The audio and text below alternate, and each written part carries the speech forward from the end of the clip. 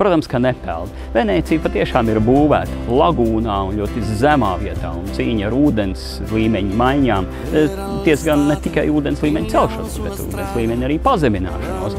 Tā ir liela problēma jau gadsimtos, bet ar to venecieši māk sadzīvot, un es domāju, ka arī nākotnē viss būs kārtībā. Bet eh, nekādā gadījumā nevarētu teikt, ka Venecijā būves peld.